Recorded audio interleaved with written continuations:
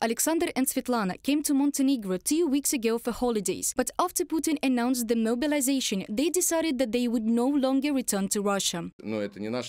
This is not our war. We are not protecting our homeland. We are attacking our neighbors. We are trying to occupy territories that do not belong to us, and which, as far as I am concerned, we do not need. It is Ukrainian territory, and I definitely will not fight for that, let alone die for it.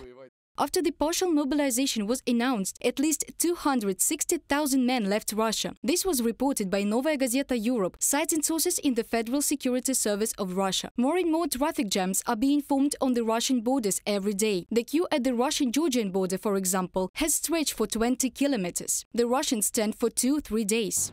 Мы с Владикавказа We were walking from Vladikavkaz to the border. There was a traffic jam for 20 kilometers there as well. At about 5 a.m. in the morning, we were at the border. Until 13 p.m., we were looking for a way to cross the border. People asked to get into a car because on the Russian side you can only use vehicles. You cannot cross the border by foot. People are crossing on foot, with one bag, living their whole life there. You could say all their professions, just to live peacefully, so to say. Despite the fact that the borders of Russia are still open, some men are refused to cross at the checkpoints and are given notices according to which they are prohibited from leaving Russia based on the decision of the military commissariat.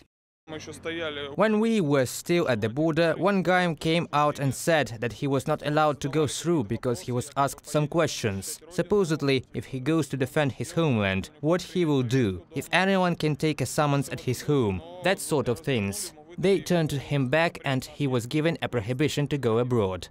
The mobilization announced by Putin, in fact, cannot be called partial. Summonses are distributed to anyone. It can be handed right on the street. Also, the offices of police and recruitment offices go around the residential buildings in search of men of military age. In addition, call points for the mobilized have begun to open in schools, theaters, and museums. The conscripts are deprived of all means of communication, and in order they do not run away, checkpoints are set up near them. Recruits themselves react differently. I'm scared only for my family. How they will go through all this, I'm not scared for myself. I was ready. I got it right after waking up in the morning. Did they bring it home? Yes, at 7 a.m. Did you have time to get dressed and equipped? No, they said to come at 11 a.m. I asked what to do with my job. They said to notify the administration. That's it. I came to work, informed them and left. Our people need help. And as it is said, we don't leave our people in trouble.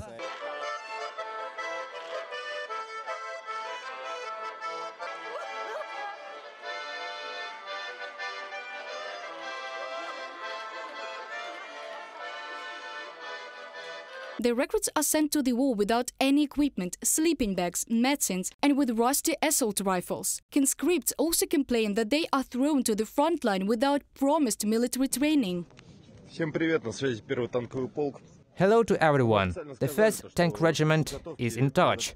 We were officially told that there would be no preparation before sending to the combat zone. The regimental commander officially confirmed this information. On September the 29th, we will be sent to Kherson. Think for yourself, decide for yourself. While some flee abroad or obediently go to certain death, others are trying to protest. The largest rallies are held in the Republic of Dagestan. The police disperse participants by shooting in the air. Previously, more than 2,000 people have already been detained in Russia. Of these, 952 people were detained in Moscow, 644 in St. Petersburg, and 101 in Makhachkala.